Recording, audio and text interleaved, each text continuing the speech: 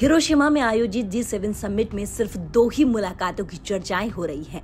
पहला, प्रधानमंत्री नरेंद्र मोदी और यूक्रेन की राष्ट्रपति जेलेस्की और दूसरा, प्रधानमंत्री नरेंद्र मोदी और ब्रिटेन के प्रधानमंत्री ऋषि सुनक की मुलाकात की। ऋषि सुनक से बड़े ही गर्म जोशी के साथ पीएम मोदी ने मुलाकात की। दोनों देशों के नेताओं का बॉडी लैंग्वेज उनके उत्साह को साफ़ तौर पर बयां कर रहा था।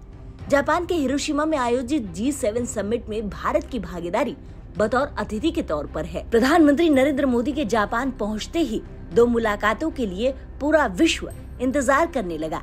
यूक्रेन और ब्रिटेन। दोनों देशों के प्रमुख की बात करें तो दोनों देशों को भी इस मुलाकात का बेसब्री से इंतज़ार था। जहाँ ब्रिटेन अपनी आर्थिक महामारी से जूझ रहा है तो वहीं यूक्रेन में युद्ध की स्थिति बनी हुई है। जिसको लेकर दोनों देश सिर्फ़ प्रधानमंत्री नरेंद्र मोदी के ही मार्गदर्शन का इंतज़ार कर रहे थे। प्रधानमंत्री नरेंद्र मोदी जी सेवन में आए तमाम प्रतिनिधि मंडल से भी मुलाकात करने पहुँचे। पीएम मोदी और ब्रिटेन के प्रधानमंत्री ऋषि सुनक के बीच में अच्छी केमिस्ट्री भी देखने को मिली। यहाँ आप देख सकते हैं कि किस तरीके से मोदी और ऋषि सुनक मुलाकात कर रहे हैं।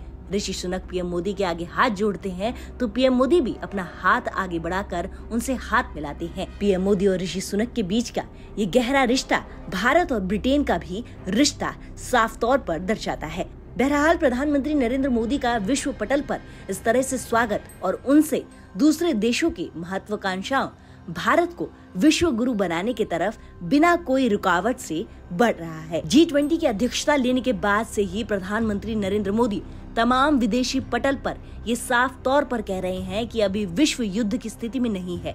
हमें डायलॉग और डिप्लोमेसी से हर एक समस्या का हल करना होगा। ब्रिटेन और भारत के इस द्विपक्षीय वार्ता में सनातन विचारधारा की भी एक झलक देखने को मिली। दोनों देशों के नेताओं ने नमस्कार की मुद्रा में एक दूसरे को नमन किया। बता दें, जहाँ एक तरफ़ जापान जो सनातन विचारधारा को मानता है तो वहीं दूसरी तरफ़ ब्रिटेन के प्रधानमंत्री भारतीय मूल के हैं। और हिरोशिमा में आयोजित जी सेवन समिट में भी सनातन विचारधारा को मुख्य रूप से देखा गया। फ़िलहाल इस वायरल वीडियो में इतना ही। देखते रहें टी वर्ल्ड